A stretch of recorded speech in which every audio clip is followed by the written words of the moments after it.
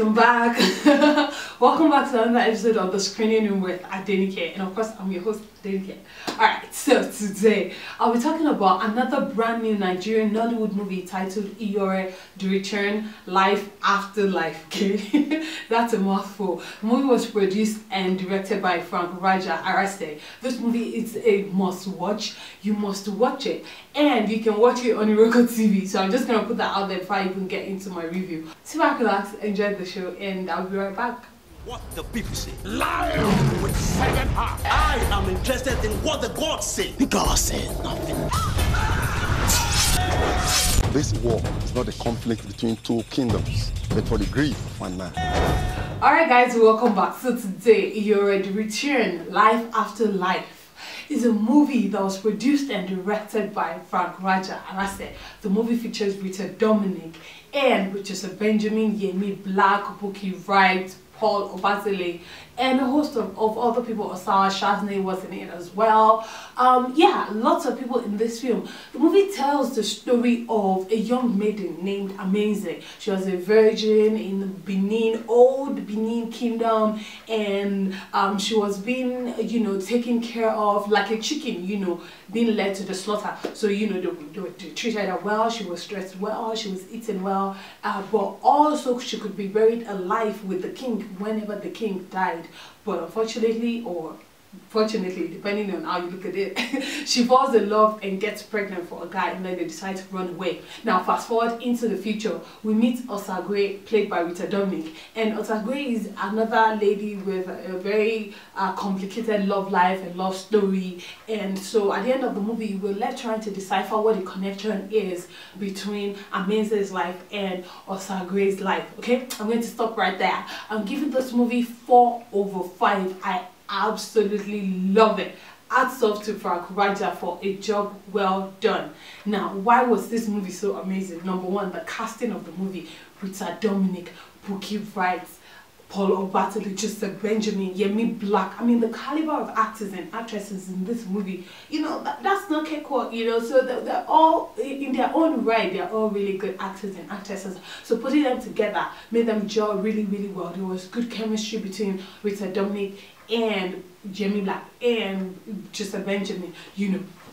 Paul Obazele made a very, very good king. Uh, Edo King, he played the role so well. And it was nice to see him on screen again as well. Another thing I liked was the production quality, the sound, um, picture, you know, cinematography, the directing. The movie was Frank Raja directed this movie so well. You know, you could tell he paid attention to a lot of details in this film. And of course, you know, the, the movement of the cameras and the, the tracking of each scene or every other scene in the movie you know that made it very interesting as well. But one major thing that stood out was of course number one the fact that it was set back in the Benin kingdom and number two the storyline. So it wasn't just a typical um, love story it was a love story with, with, with a twist to it you know. So so I, I i loved that about it. And then by the time we finish watching the movie you're like wow a lot of time money and effort has been put into this movie and you can see it. So i think you would absolutely enjoy watching it because i loved it. And i think i described it in my notes. I described it as one of the best movies yet in 2015 that we've seen. However, the movie was not without flaws. And one of the major things I hated about the movie was that it tried to do too much. Like, we'll be in the past, then we'll be in the future, then we'll be in the present, then back to the future, then back to the present, then back to the past. Like, they were just here and there and here and there. It was so confusing. Whoever wrote the screenplay tried to do too freaking much. and I was so upset because you cannot watch it once and understand it. Heads up you have to watch it at least three times. And even at that third time you have to pay extra attention to be able to understand it. You know because i was like what is going on? And there is the, there's the, there's the narrator and Rita Dominic is narrating and then she's acting. And i'm like okay wait is she telling the story has? is she telling her whole story or it was just too confusing. And then by the time we get to the the end of the movie you're like hell no. Pardon my pardon my language but you're like what?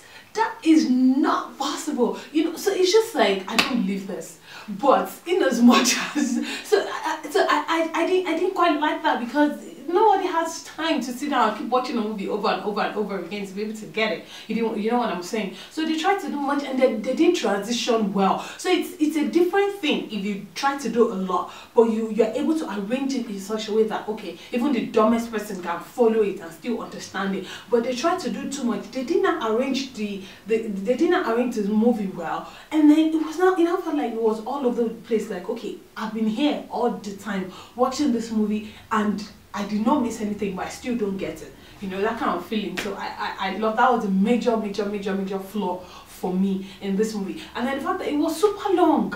It was like two hours long or something there, but it was just it was just so long. And I was like, ah you know but at the end of the day i thought it was a really really good movie i think you definitely need to see it just you know, heads up. And if you watch it once and understand it, please come and tell me. Maybe I'm the one that, but I know I'm not the one because I've spoken to a few people that have seen the movie and they actually said they have, they've seen it twice and they still don't get it. But hey, you know, I might be wrong and you just might get it. okay, so make sure to go watch the movie. Like I said earlier on, it's going to be on Iroko TV. Uh, go check it out over there. Thank you guys so much for watching. And as always, stay tuned to this channel. Stay subscribed. I'm going to be coming to you with more movie reviews as we go along. Okay, thank you so much. God bless you. Enjoy the rest of your week. Bye bye.